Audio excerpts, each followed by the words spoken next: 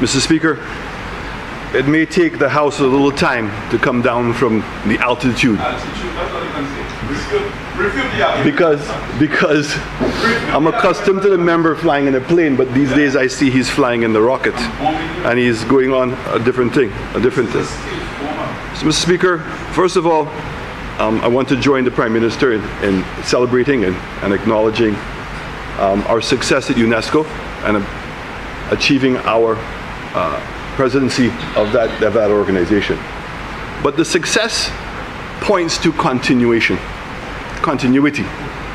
And so I think hopefully the Prime Minister and even the member from Laborie would join us in also thanking um, Ambassador Shaguri, who has been our ambassador over several um, different administrations and has established um, a significant foothold in that organization, has developed an incredible rapport with all of the other countries, um, and the respect that St. Lucia has gained at UNESCO in a large part, not by himself, but in a large part, is it attributable to him, but I think for all of us, in allowing that institution to have that level of continuity. Continuity. I was again saddened today, Mr. Speaker, that we're here to talk about something as important as water. And that the temptation to politicize even this little project could not be resisted by members on the opposite side. When we want to speak about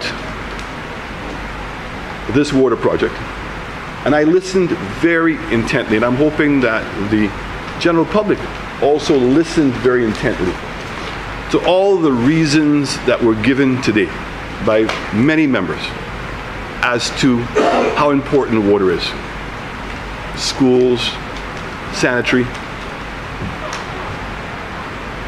basic standard of living that we all have come to expect and need in order to having a regular water supply of clean water. A regular water supply of clean water. With glowing, glowing reports how important it is. And then entwined within that, this whole thing about Micoud North and Micoud South, that they intend to capture Micoud South next election. This is the same government that in 1997 won Micoud South. You should remember. COC. One term. One term. Right, And the reason for the one term is because the words were much louder than the deeds. This is the same government that today wants to say that they're a caring government. They care about the people in Micoud North and that they hope to show the people in Micoud South how much they care. But I want to remind them that this is the same government that in 2006 and 2011, the then Arsene James started a water project to service the people in Ti Rocher, going all the way down to Duga and Lacouville. Because the persons on that side of the constituency did not have a regular supply of water. And the same things they were speaking of, the rationing of water. You had to figure out what day you were going to get water whether tanks were sufficient and the investment that people were having to make in buying tanks, because this went on for years. And Mr. James ended up using part of his CDP resources to buy a tank and to work with WASCO. And when the government changed in 2011, for five years, that project was discontinued. Now, how does that action meet the test of what was being said in the House today? What? How? How could anybody genuinely believe the members on the other side when we don't even have to go that far back to see what was taking place? I'm not going to get into the emotional aspect of the suffering that took place on that side of the constituency. Because you've all articulated it better than I ever can.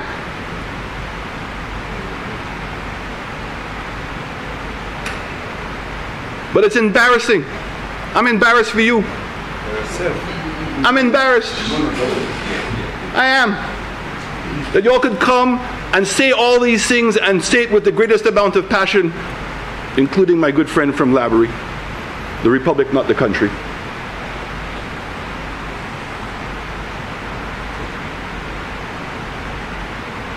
This is the same government that when they were in office and redid the East Coast Road, the road stopped at the Canals Bridge and re, re-begun at Praslin.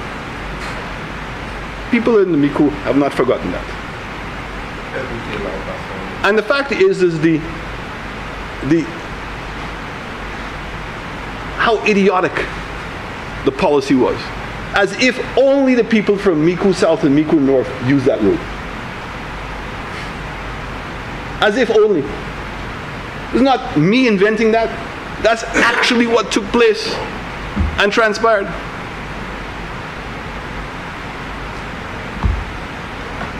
You want to speak about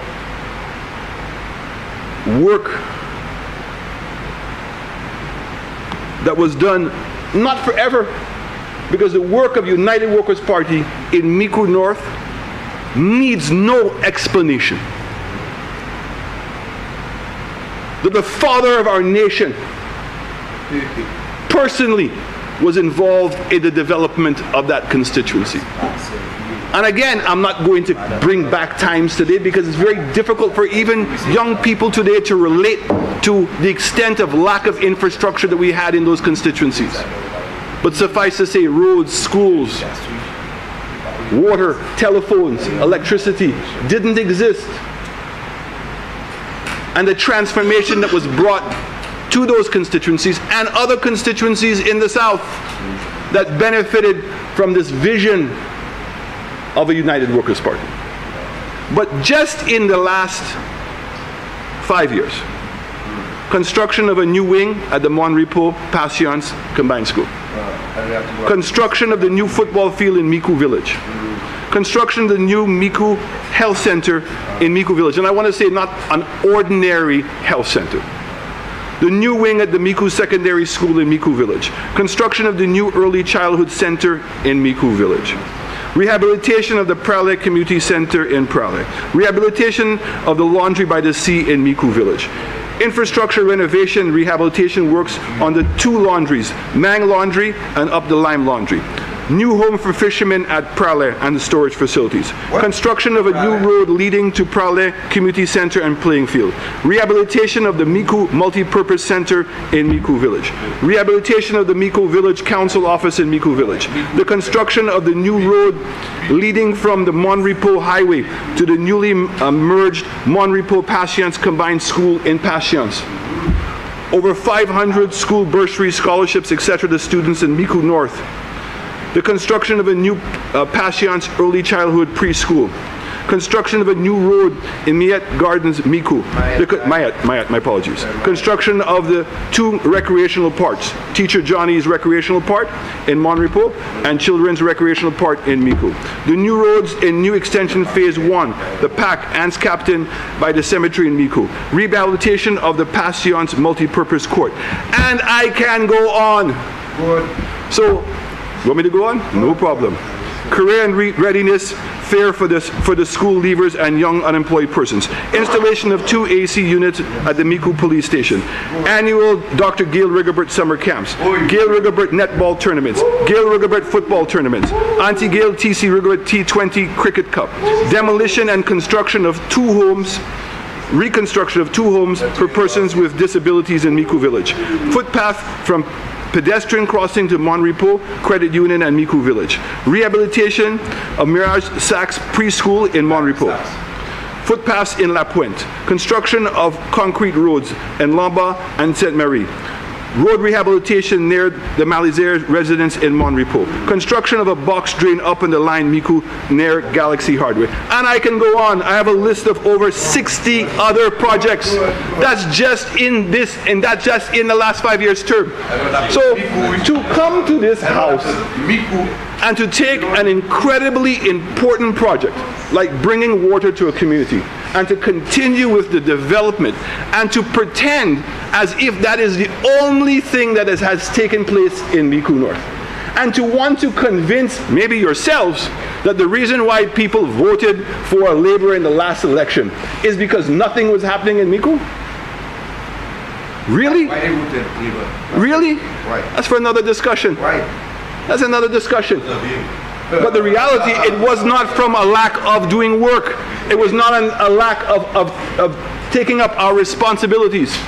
I'm not even going to get into what we have done in Micoud South in terms of roads, water projects, school repairs, fixing up playing fields, healthcare centers. But it never stops. I'm not so sure whether the two-hour speech that the Prime Minister gave at his own conference of delegates, I don't know, two hours to convince what? I mean, I was listening to the Prime Minister of Grenada who said, Mr. Speaker, that the Prime Minister spoke for two hours. He spoke for 15 minutes, and people seem to remember what he said in the 15 minutes than what the Prime Minister said in the two hours. Right? But there was also another contribution at your conference of delegates by the Prime Minister Ralph Gonsalves. The same reason why you watch our stuff. So, Mr. Speaker, well, all the time. You come here and quote all our stuff all the time. Your Prime Minister, half his, half his presentation yesterday was about what we're doing. But, Mr. Speaker, Prime Minister Gonsalves said something that's very, very important. I've said it, but I, don't, I did not ever say it as articulately as he did. Ever. He is very, very good, of genius at that aspect of it. He said, we, we live in a generation of aspiration.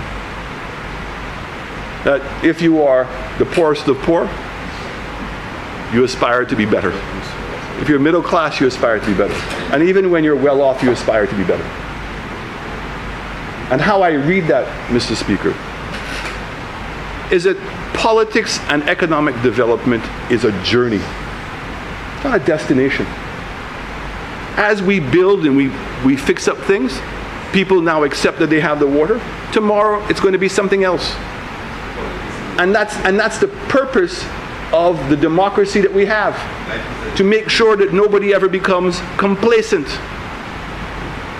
and that politicians are responding to the aspirations of our people. That's fundamentally what it is. So it's a continuity. We see at UNESCO the success of continuity. It's about coming to this house and saying that we're building on the successes already there and we're going to move at a faster pace. And that by the end of your term, sir, that you're going to have over 60 things in which you can come to this house and highlight that you've done for Micoud North. But I would say to you, the persons in Micoud South after electing Labour in 1997 have learned their lesson and have no confidence that a Labour Party is going to do anything for them.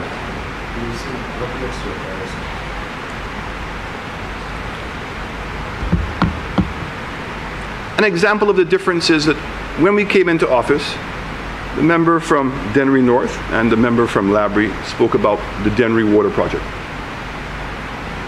Very important project. Project never stopped. It continued and was delivered. And in fact, the member from Dennery was invited. Cut the ribbon and spoke. And then when we did phase two, which was not advanced in his administration. We still invited him. And he cut the ribbon again. And we said, it doesn't matter who started the project. If it is a good project, yeah, I'll, get the picture for you. Okay, no problem. And he spoke. You asking for And he spoke. And he spoke. asking for money? And he spoke. Doesn't matter. The same, the same CDB that's funding and the and the and the um, and the Mexicans, and the same persons that are doing La Guerre today. So, Mr. Speaker, the fact is is that he spoke, and we continued and we continued the project. Very importantly, because it was water, and it doesn't matter where you come in from St. Lucia, and you do not do things to spite an opposition constituency because you also have supporters in that constituency. But it's the humanitarian thing to do.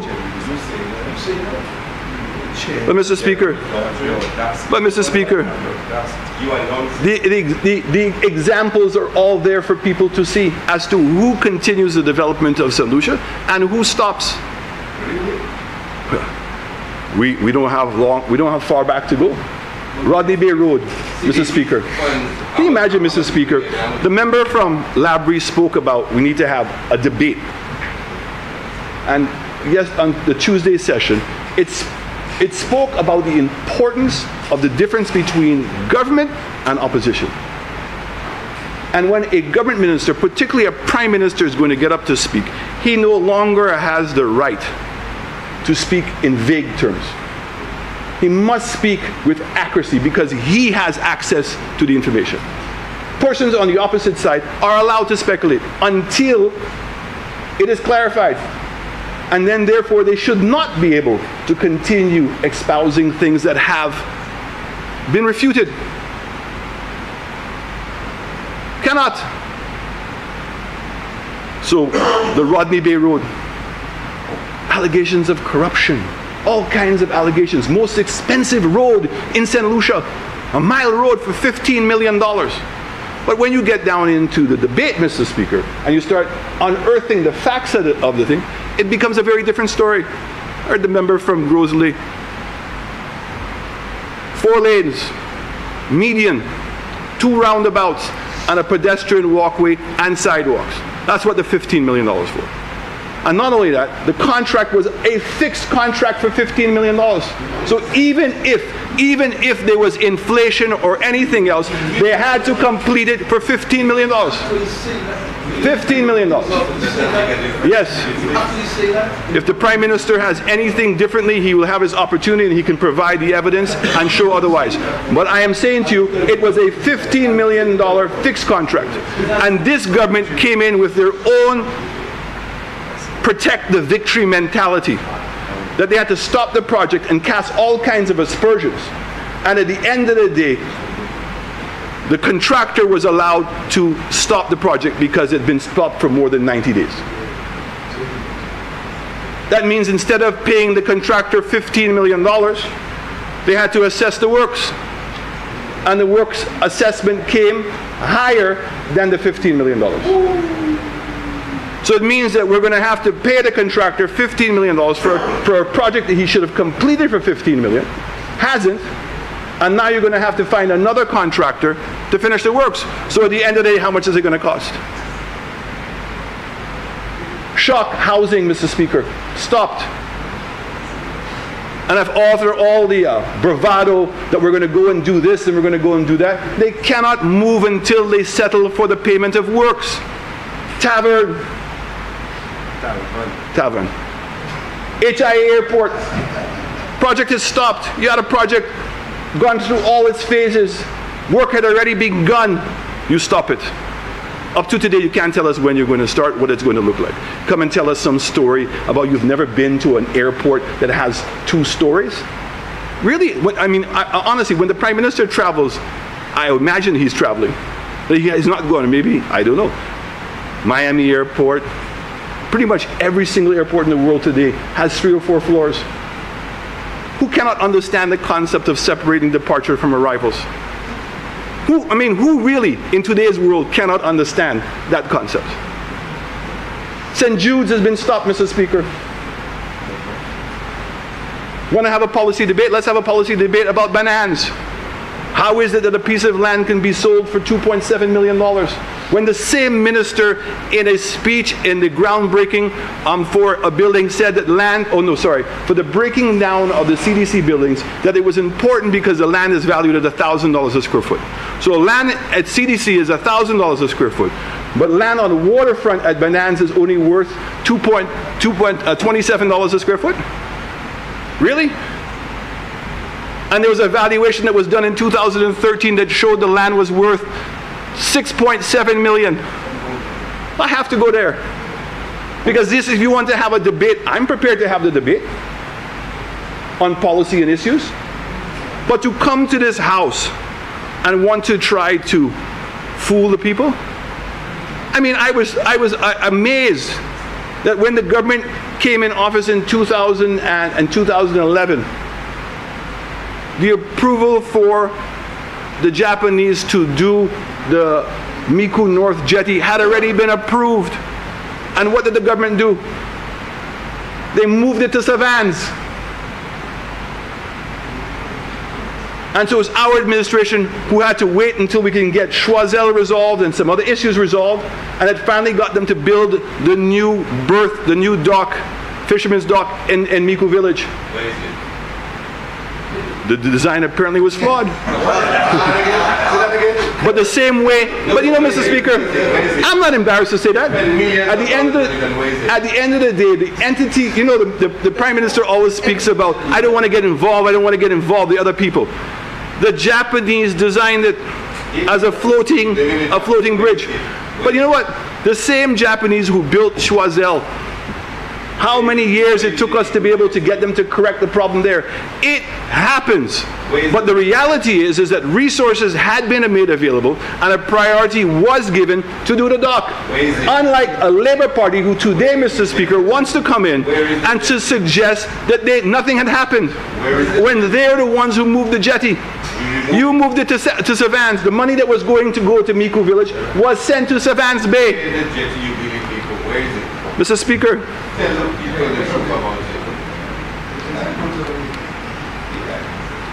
Mr. Speaker, Bhutan. Really? So again, who went and acquired the land to put up the tank? Who put up the tank? Who made all the preparations for the work to be able to bring the water to the people? And you now laid the pipe. I'm, I'm proud of that. That's what we talk about is continuity.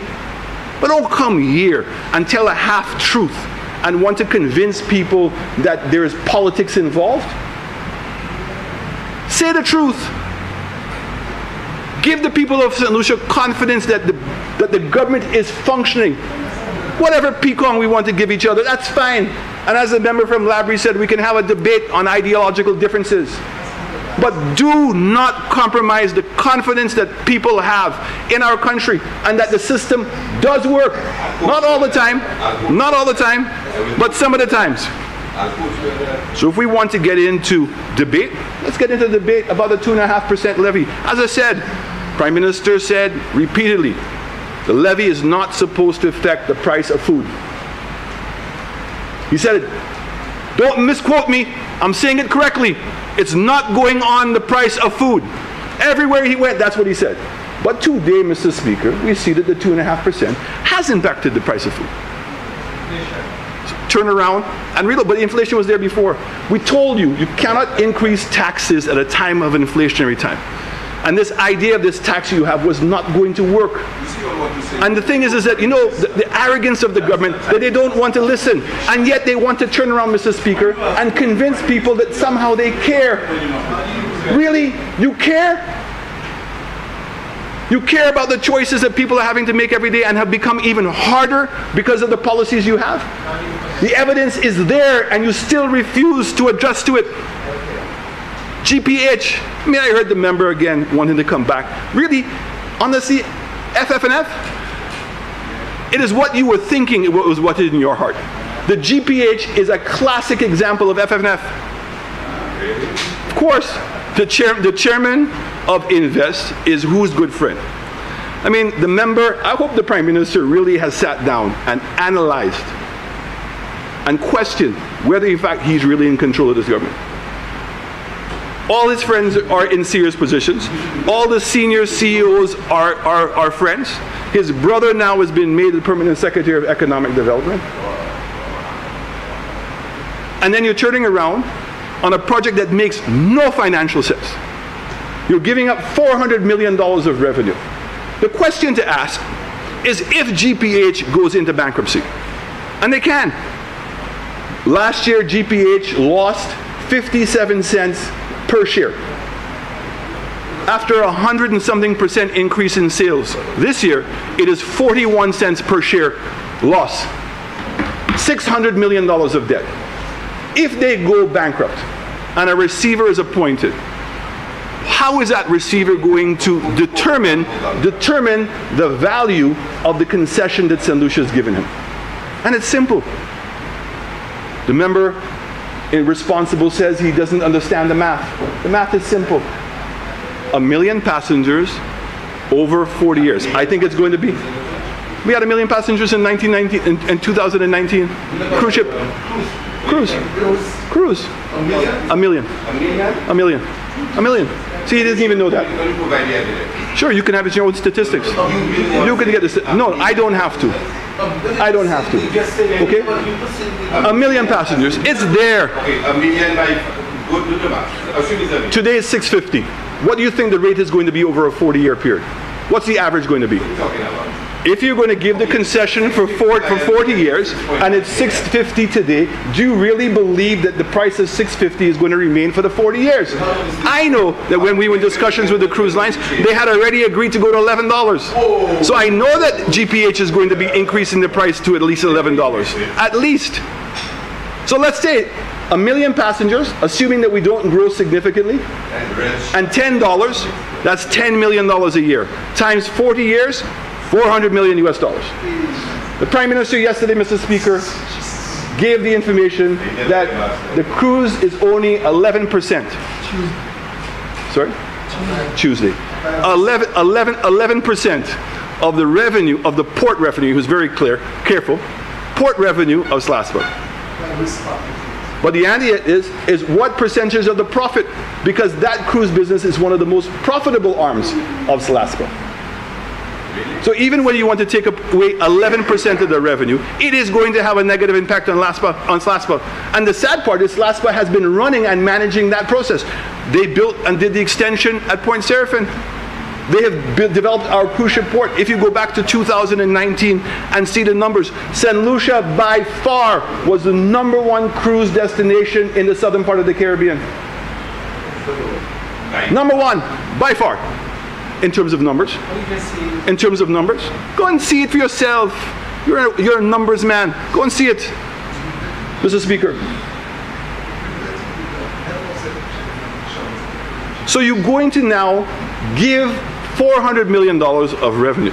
If it goes into receivership, how is the receiver now going to value that asset? Because it's not land. What it is is a, a, a, a revenue stream. Guaranteed all the revenue from the cruise ship port in, in St. Lucia is given out in a concession. Take care that St. Lucia, Mr. Speaker, doesn't find itself having to go to buy back its own port. Now, if the members on the opposite side really wanted to appreciate it, work out that number because that is the number that GPA should sell you. So, Mr. Speaker, they want to come and convince us that the great benefit of this deal is that they're going to spend 30 million US. They say 40, but remember, they're also going to take and absorb the debt of Slasco. That's included in the 40. And where's the money going? In the port development. Who benefits from the port development? If the person who is earning all the money on the port, that's who's going to benefit. So they're coming, they're going to use your money, our money, to build up an asset to help them earn more money. That makes sense, Mr. Speaker? We're all supposed to sit here and say that, boy, that's great. That's millions of dollars that they should be spent, given us to buy the concession and let them go. Oh, you see, I love that. And Mr. Speaker, I don't want to uh, uh, take advantage of your generosity. But that will be that will be for another day, and I'm very happy to have that discussion, Mr. Speaker. If we want to do an analysis between GPH and Cabot, oh, today you want to come and talk about Patience, but everybody spoke about everything else. Mr. Speaker, I'm glad he's not the speaker. That's what I have to say. So, Mr. Speaker. Yeah, top five, yeah. The administrative building in Vieux Fort. You know, Mr. Speaker, it would be it would be it, it's just comical. When we came into office, Mr. Speaker, their good friend, the contractor, and we're not going to mention names, so we know who we're talking about, was working on the administrative building to find out that NIC, the land was never transferred to NIC, and there was no planning approval. None for the administrative building. Go and show you didn't have it. You're in, you're in government. You're in government. You have access to all the information. All of it. But you see, Mr. Speaker, they are scared of bringing out the real information because it would show the amount of lies they told when they were in opposition. But you know what? I forgive oppositions. Okay? Because oppositions can say a lot of things. But the reality was is that on many occasions we came here and answered the question, i.e. like CIP. When the member from Castries South it says, oh, the money is not going in. We don't know where the money is. We showed it to him in the, in the, in the, in the budget. He still wanted to deny. He still, we did. And he still wanted to deny, and he still wants to deny. But he has the information today. Go and produce it. What were the, what, how was the money used? So, Mr. Speaker, I want to conclude that sadly, well, let me first of all say I'm very happy for the people in Micoud North to see the continuation of the work that we have done. This is a very important project, but there's so much more to be done in Micoud. And a big part of what needs to be done in Micoud is to provide jobs for people. So you went and you demonized DSH, you demonized Ojo Labs, you demonized ITEL BPO, you demonized all of those projects, Mr. Speaker. And those are the projects today that are continuing to provide work for the people in the South. And one of the biggest benefits that our government focused on, Mr. Speaker, was the ability that people could not only enjoy water in the South all the time, but they had the opportunity to live in the South and be with their family by providing economic opportunity and prosperity that would not only be as good as the North, but I believe in many ways would have been better. And we already saw the reverse migration taking place, Mr. Speaker. Persons were moving to the south in excitement of what was going to take place. It is only the Labour Party that wants to demonize these things and to destroy progress in this country. And the example, history is replete with examples of that. So, Mr. Speaker, I'm hoping that the Prime Minister will prove us wrong. But the reality is your obsession with protecting the victory is hurting this country. And it seems very clearly by your actions and your words that protecting victory is job one, job two, and job three. Stopping HIA is protecting the victory because you don't want to see it come to fruition. Stopping St. Jude's and wanting to move into an old hospital to deny the people of the size of a quality, more modern hospital is protecting the victory. Stopping the housing projects throughout the length and breadth of this country is protecting the victory. Stopping the roads in this country is protecting the victory.